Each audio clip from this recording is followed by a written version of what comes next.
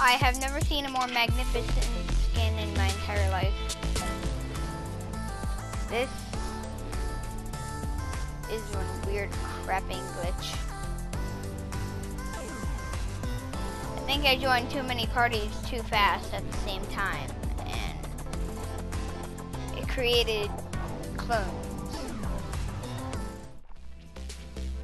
Maybe this is the setup for the sequel.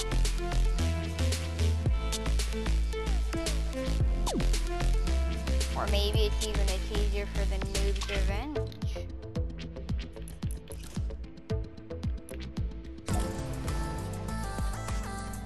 You will never know.